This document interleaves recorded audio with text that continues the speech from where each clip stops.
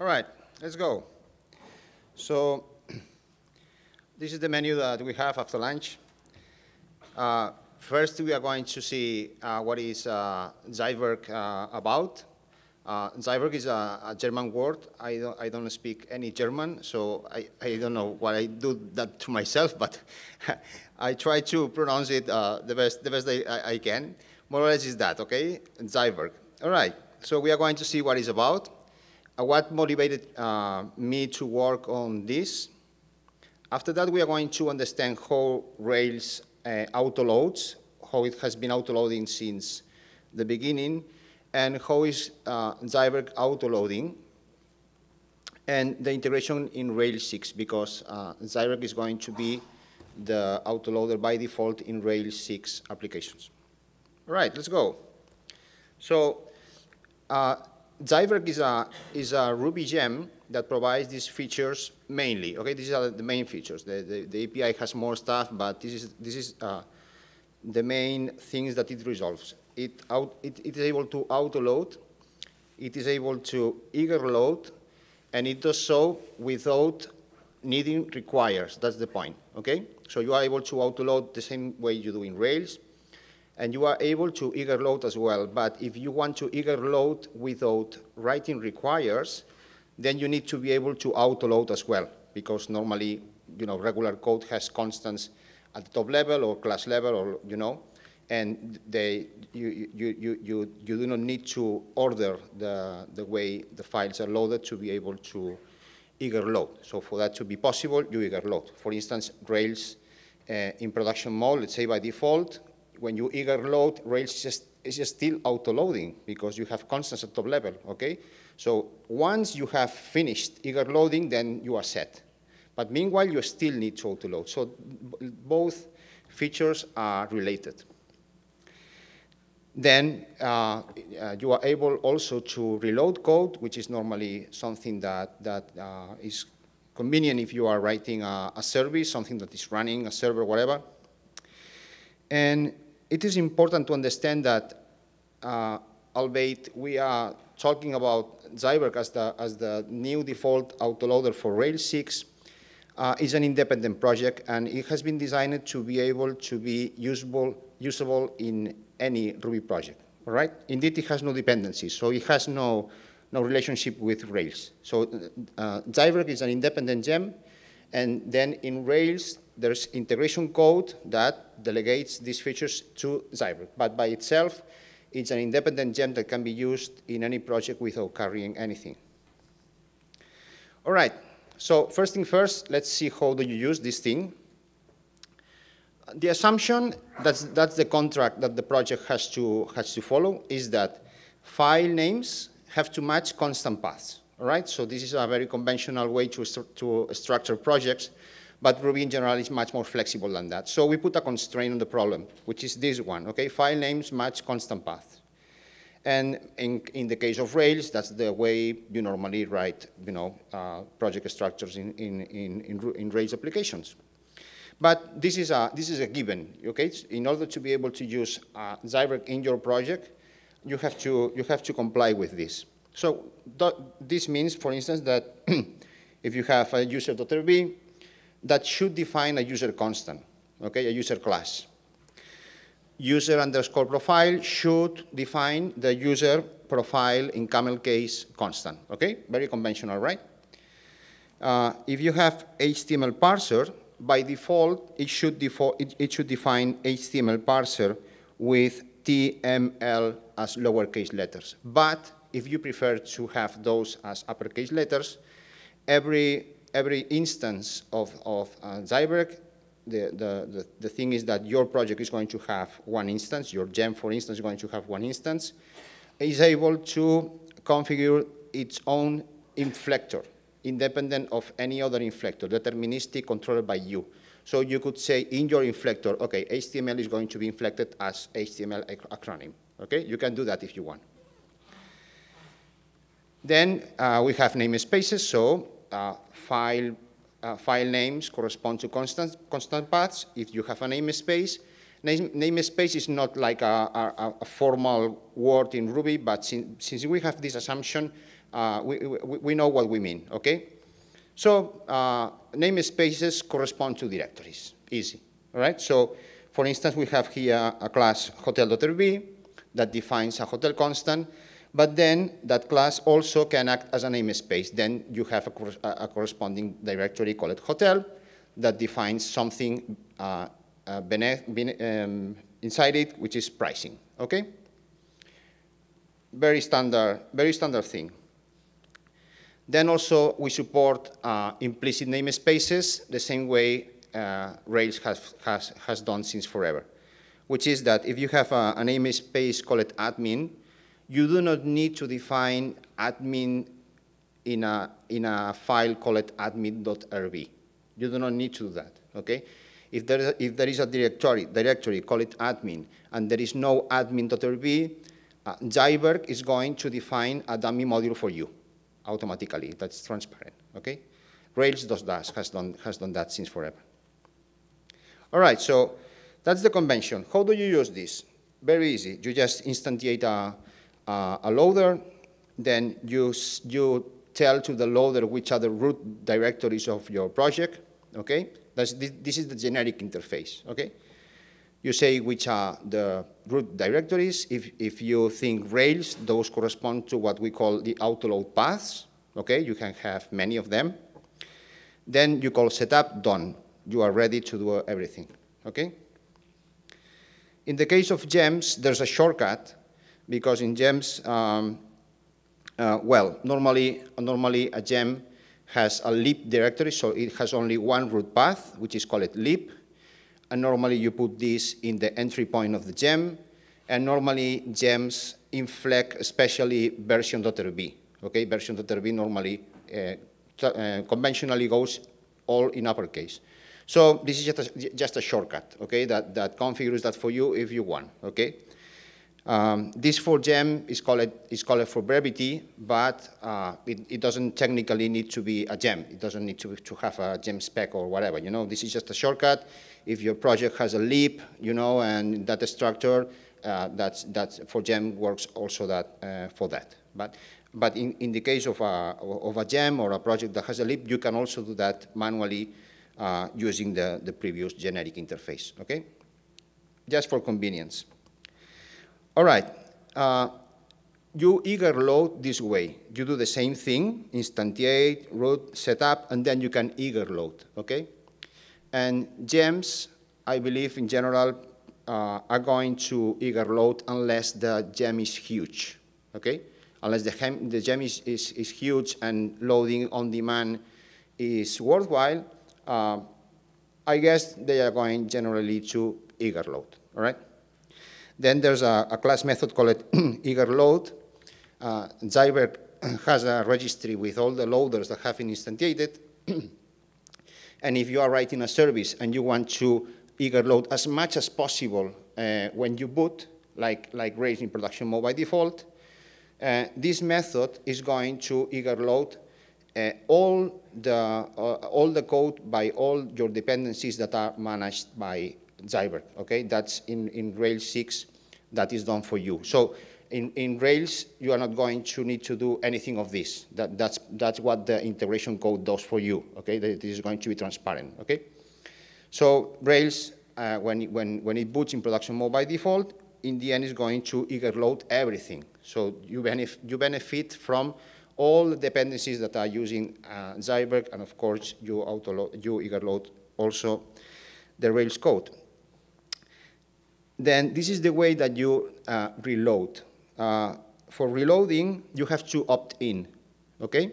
So the thing is, this is a Ruby project uh, thought for Ruby projects, and I believe uh, the majority of use cases are not going to reload. So when you are working in a Ruby project that does not implement a service like a, a gem or a project that, you know, you do not reload normally. You only need to be able to auto load or eager load, and then you, when you change the code, maybe you run the suite but there's nothing to reload, okay?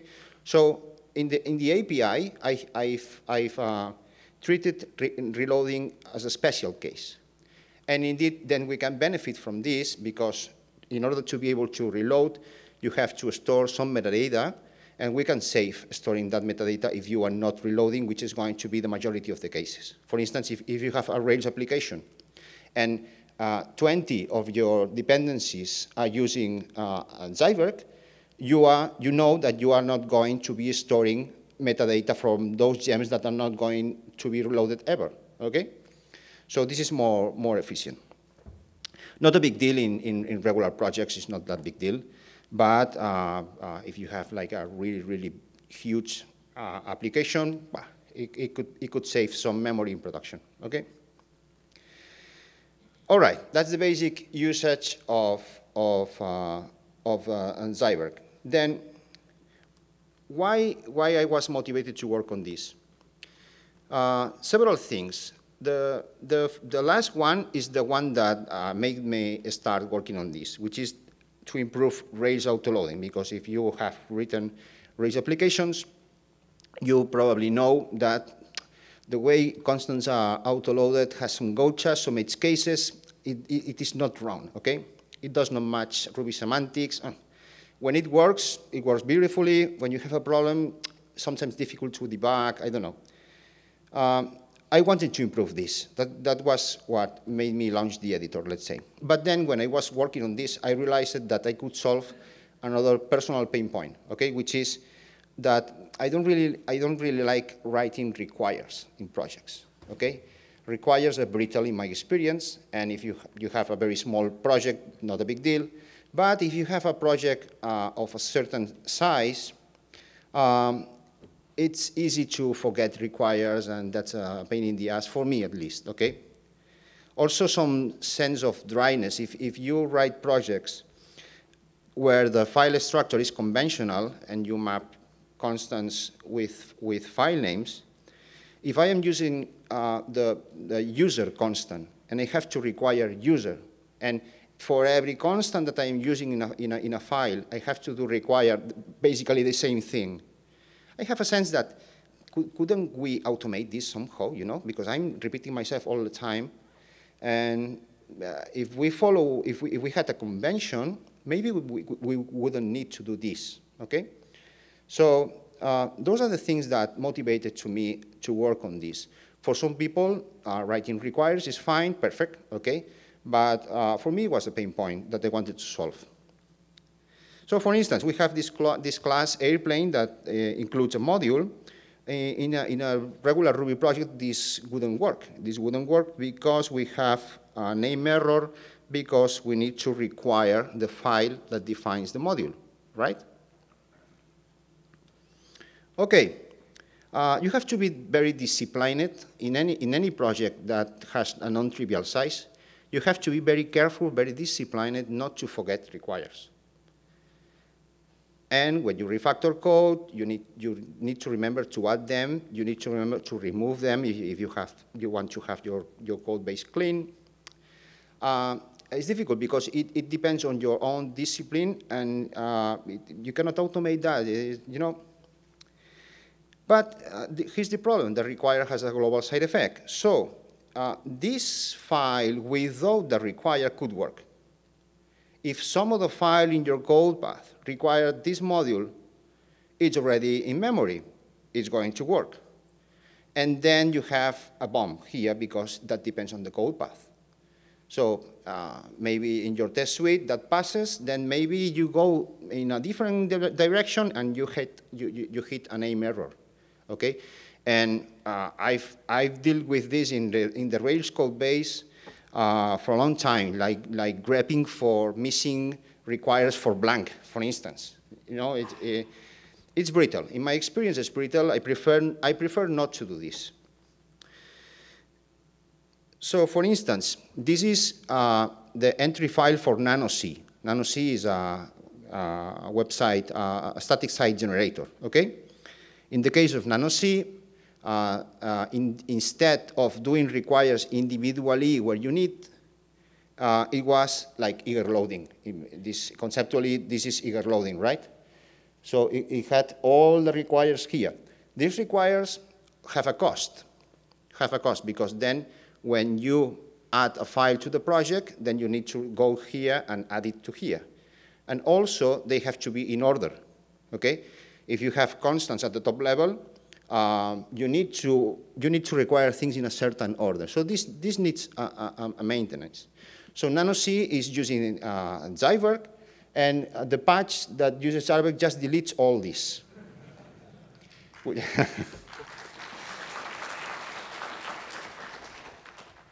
yeah, I love this patch. So uh, uh, NanoC is, is eager loading, simply. So it, the, the point is not to auto-load or not, that depends on the size and uh, it depends on your preferences. Uh, here NanoC opted to eager load, so it just instantiates a loader, eager loads done. It's one line of code, okay? So that's the point.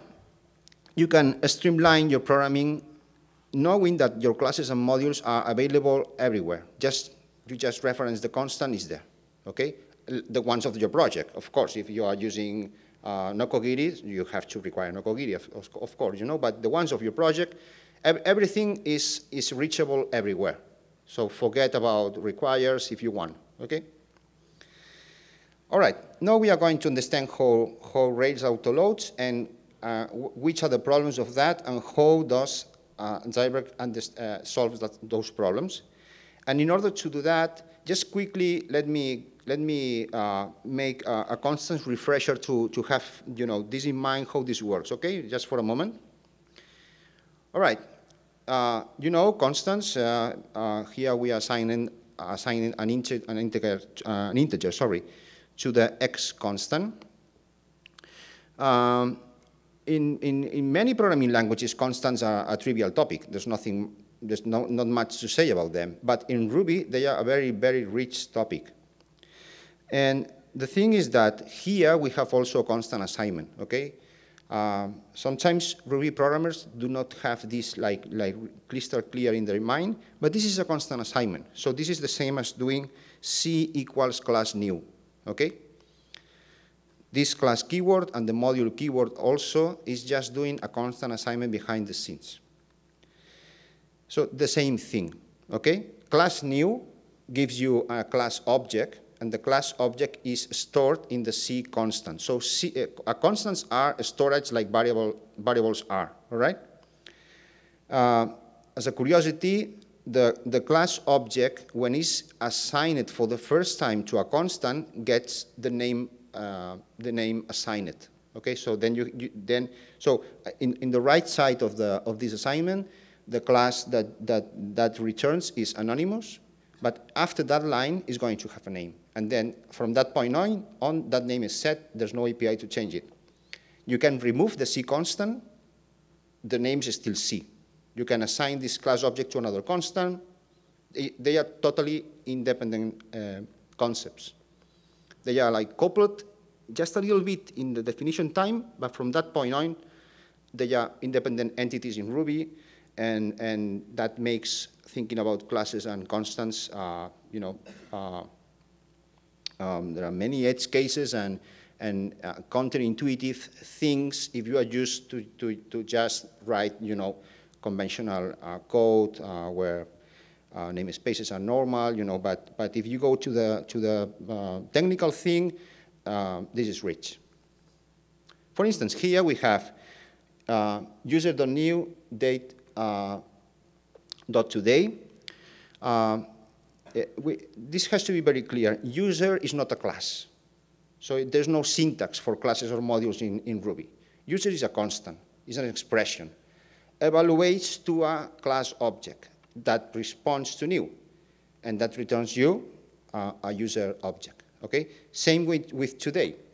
Today is a constant that evaluates to a certain class object that responds to the today method, okay? So those are expressions. In the day-to-day, -day, we, we say the user constant, the user class, we say the string class, okay? But that, that's a little bit of abuse of language. We, we, we are in, technically, we are dealing about constants and the objects that they store. Constants belong to modules. Uh, each module has, you can think module has many constants, okay? They belong physically to modules. So here, for instance, we are defining a hotel, a, hotel constant that is going to store a class object, and that hotel constant at the, top, at the top level belongs to object, all right? Then inside that one, we are defining a pricing constant that is going to hold a module object. And that module, that, uh, that constant is going to belong to the module stored in the hotel constant. You, you need the object, okay? It's not about constants, it's the object. The module object is the one that has many constants. So you have to think that modules, module and class objects have like a, like a symbol table where you have constant name to a value, like a hash table, okay? The module and class objects, forget about constants, okay? So the, the class object stored in the hotel class, in the, in the hotel constant, has a symbol table where pricing maps to a certain module object. That's how it works, okay? Here, uh, same thing, uh, a different way to define the pricing constant within the hotel class. Except that in this case, hotel has to be defined. In the previous slide, we were defining or reopening class, the, the, the hotel class. All right, two, con two concepts that are key to understand how this works. The first one is nesting. We are not going to give like precise definitions, but just uh, something uh, close enough to be able to, to understand the, the, the topic of the talk. Nesting, very briefly, every time you use the class and module uh, keywords, you are, you are pushing class and module objects to something maintained internally by interpreter, which is called the nesting. So in, in every, in every uh, level, you are pushing something to the nesting, okay? So in the, in the first, in the first uh, uh, okay, so here we have two levels, and the nesting here is hotel pricing, which is this guy here, and hotel, which is this class here. Here we have only one level of nesting. There's only one module keyword, so the nesting is, uh, is only this, uh, this module, all right? Hotel does not belong to this nesting. This is very important to know how constants are resolved. Okay, nesting. Every, every time you see a class or module keyword, you are uh, adding things to the nesting. Okay, this is a lexical thing. You see the file, you, you see the file, you see the, the source code, you see the nesting, lexical. The, the, other, the other concept is the ancestors of a class or module uh, which you know. Uh, for instance, we have here an example with a string. So a string comparable, and you can check it with this method, okay? Kernel basic object, okay? This is what you use for, for method uh, resolution. Uh, you know this concept of ancestors. All right, so how, how do we resolve uh, constants? For instance, a relative constant like a string, okay? It goes this way. First, you check the nesting. So you are in a, in a certain point in your listing, you go up to the nesting, okay, outwards. If you do not find the constant in the class or modules that conform the nesting, then you go back, you, you, you backtrack and go the ancestors up. So first outwards, nesting, then ancestors up, all right? Then if the innermost, so, so the most um, internal um, class or module is a module. There's a special rule that checks object, and that, that is why you are able to find top-level constants inside, inside modules. And finally, if you do not find the constant in any of these places, const missing, const missing is triggered, which is a callback that you can implement. By default, this callback is the one that raises name error, but you can override that, that thing and, and write your own logic. Then for qualified constants, here we have a, a constant path, okay? The first, the first segment, digest, this is a relative constant, okay? This one is relative digest and is resolved using the previous algorithm. But MD5 is qualified, let's say, qualified. So uh, the resolution of this one is easier. You just check the ancestors of digest, okay? And since 2.5, there's a technicality, that object is skipped. But that's it, all right? That's what you do. Finally, if you don't find it, const missing again. All right? That's basically, that's the idea. So now we are ready to understand how Rails autoload. The classic way, okay? Uh, new terminology, by, by the way. Uh, in Rails now, in Rails 6, we have classic and Zeitwerk mode. Classic is the one that, that we have used since the beginning, and Zeitwerk, no, uh, Zeitwerk mode is the new one. All right, so in Rails, we have the autoload paths, okay, that represent object. They represent the top level namespace. And Rails defines a const missing callback. The const missing callback um, uh, receives um, the, the name of the constant that you are uh, missing and goes to the file uh, system and tries to find a file that matches that. But this technique has fundamental limitations. And that is why we find edge cases and we need require dependency to work around them and why sometimes a constant that Ruby would resolve in a way resolves in a different way in Rails. Okay, sometimes you find that kind of edge cases. Uh, and this is because that this technique is fundamentally limit, limited. So for instance, uh, const missing is called on the module where the constant was missing and is given the name of the constant. That's it. That's the information that you have. So for instance, which is the nesting? At that point, you do not know. There's, the API does not give you the nesting. You do not know the nesting. You do, not know, you do not know if the constant was relative or qualified when it was missing. And as, as we saw, those are two uh, key pieces of, of, information to, to be able to resolve the constant. You need the nesting uh, uh, in case you have to, to, to walk it. And then you also need to know if it was relative or qualified in order to know which algorithm you have to use, but you do not have that information, okay? So uh, uh, dependencies.rb, which is the, the, insider name for autoloading in, in, in the Rails code base, um, did its best, the best that it could uh, with information that it had, okay? It was not perfect, but it couldn't be, it couldn't be perfect, okay? So indeed, uh, up to a point where, where I, I always said that uh, dependencies.rb has its own interface. It, it, you cannot expect a dependencies.rb to resolve things like Ruby does. Then another one is that const missing is the last step in both algorithms. Uh, we, are not, we are now going to see a case in which this just breaks things. And finally, this is not thread safe, and Rails has locks here and there to be able to, to make this thread safe in a, in a, in a number of, of spots. All right. Uh, missing is the last step. So for instance, we have here uh, a hotel class that includes this module, okay? The intention of someone writing this, let's suppose that is to load this one, okay? The one in your namespace. Let's suppose your intention is this one. But let's suppose that you have also a top-level pricing. You have, to, you have to know that this, this pricing and this pricing are totally separated entities. This one belongs to object, this one belongs to hotel. They, they have nothing to do with each other, okay? But if by luck you have this one load, and this, what, this one is not load and you want to auto-load, what happens here? Well, Ruby checks the nesting, checks the ancestors, and finds this one. So Ruby is able to resolve this constant because it's in, top, in the top level, and it's, not going, it's just not going to trigger const missing. You, you are not even called, okay? So these, these, these things are fundamental problems with the technique uh, that uh, Rails have used since forever. All right, uh, so this is solved by, by Zeitwerk. Uh, what do we do?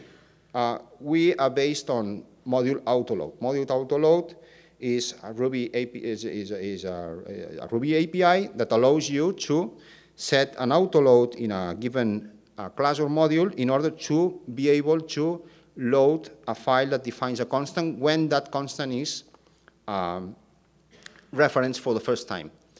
The point here is that when I, when I explained the algorithms, I skipped something, which is that every time you check if the constant belongs to some of the classes or modules that you are walking, the nesting, then the ancestors, every time you check the constant in one of those class, classes or modules, uh, if, the, if the constant is not found, there's, a there's a still a, an additional step, which is, if it is not found, do I have an autoload for that constant?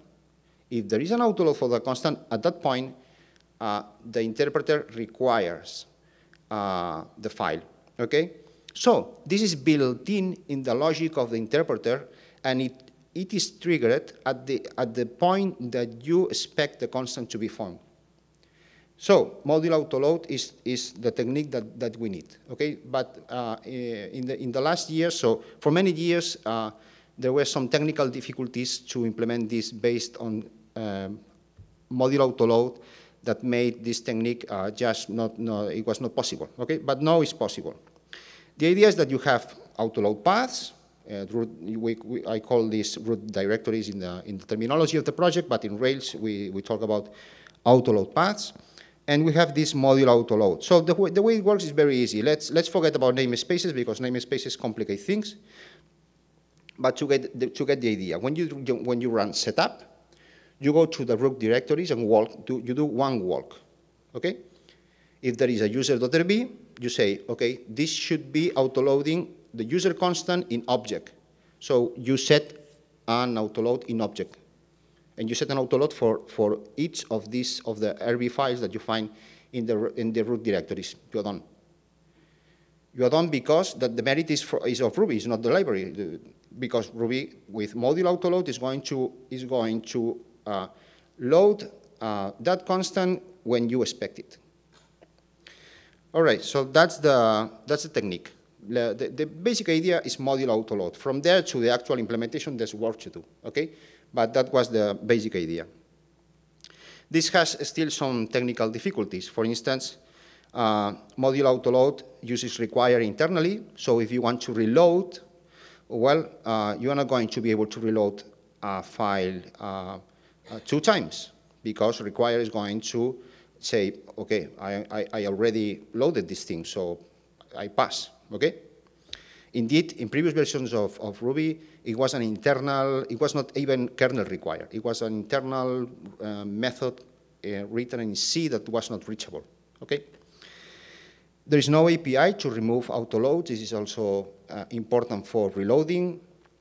Uh, there's no support for namespaces, so you cannot say autoload admin colon colon role you cannot, you cannot declare that. You, you have to go one step at a time because the autoload has, needs a class or module object, okay?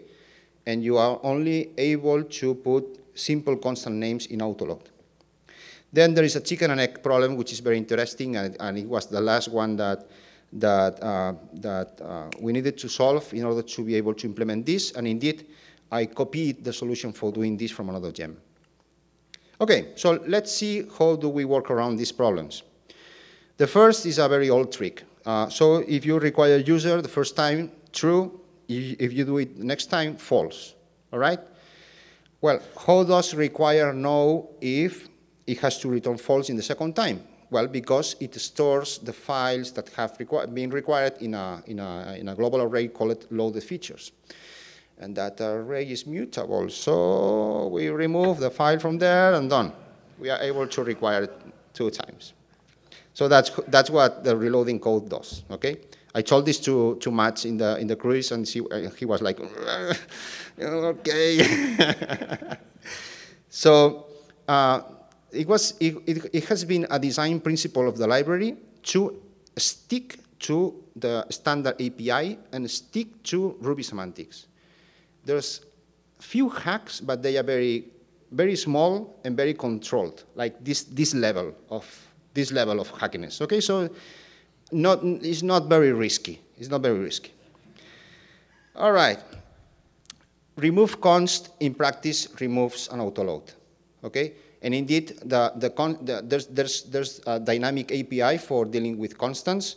And I have found working with Zeitwerk that, that the, this dynamic API does not distinguish if the constant uh, is actually defined or there is an autoload for, for it. It, it. it treats the two of them more or less uh, in an equivalent way.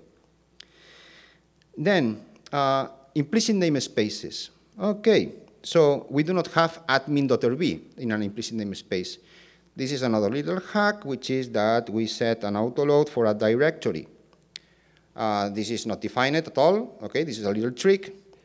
And since autoload nowadays uh, uses kernel require, what the gem does is it has a very thin wrapper uh, around kernel require. So that, that wrapper uh, normally it just, it just delegates to the, to the actual required, but if you pass this directory, you know that that, that, directory, that uh, directory is managed by Zeitwerk, and then it, it, it intercepts the call, intercepts the call, and then instantiates the dummy module, and then goes one step, okay, one step.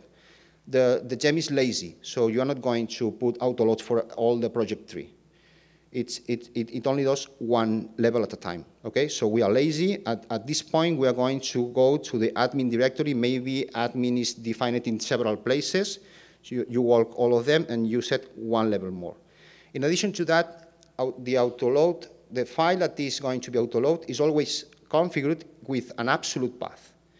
So in, if you use Zeitwerk, uh, that, that uh, performance problem that, that happens when you use um, relative names that have to be resolved against load paths, that is, that is gone, okay? Uh, internally, that's another guideline of the project. Internally, strictly, the gem only uses absolute file names. And finally, the chicken and egg problem. The chicken and egg problem is the following. You have a class hotel that wants to use this module pricing, which is defined in this, in this uh, um, uh, file. All right, the problem here is that in order to be able to evaluate this file, you need to be able to uh, uh, resolve this, uh, this constant, but this constant is defined here. In order to evaluate this file, you need to have class defined. So you cannot, you cannot go and evaluate any of the two, all right? Okay, um, the trick to, to resolve this one is trace point, all right? So we set a trace point. This trace point is only enabled if it's needed. If we know that there is an explicit namespace and we are waiting for it, we have a trace point for that, okay? As, as, long, as, as, as soon as all explicit namespaces are resolved, the, the trace point is disabled. It's a trace point on the class event, so it shouldn't be, in practice, it's, it's not a problem, okay? Shopify has this in, in production, okay? So in practice, it's not a problem. You, you do not define so many classes, okay? Once you are set, you are set, basically, know, in a regular project. Okay, so we, we define this, this, this uh, trace point, and the, and the thing is that thanks to that trace point, when you evaluate this file, we are called here. So we are called here, we know that this is an explicit namespace, and we are on time to go to the, to, to the subdirectory, put auto loads, and then pricing is going to be resolved.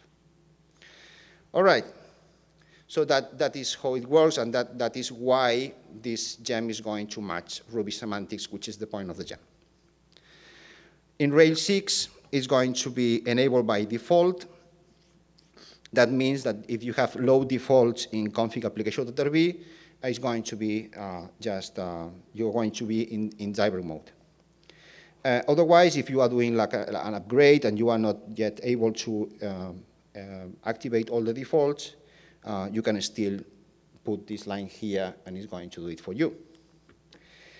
Then it could be the case that Zeitwerk, so classic mode, uh, const missing, you get a constant name, and from the constant name, you go to the, to the file system, all right?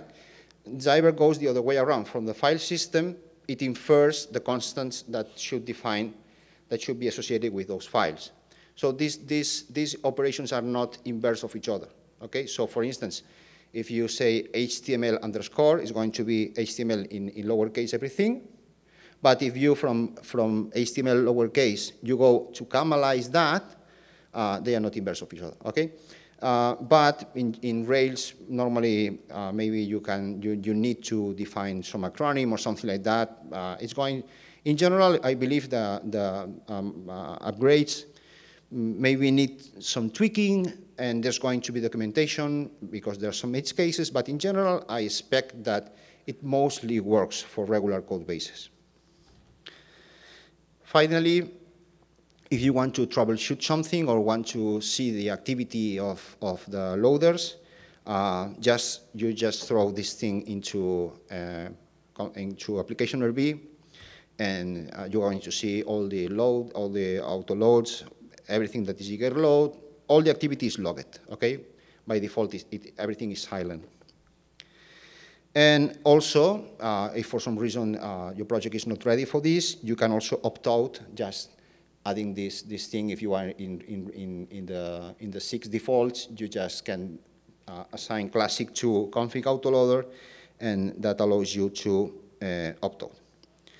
All right, so that's it. Thank you.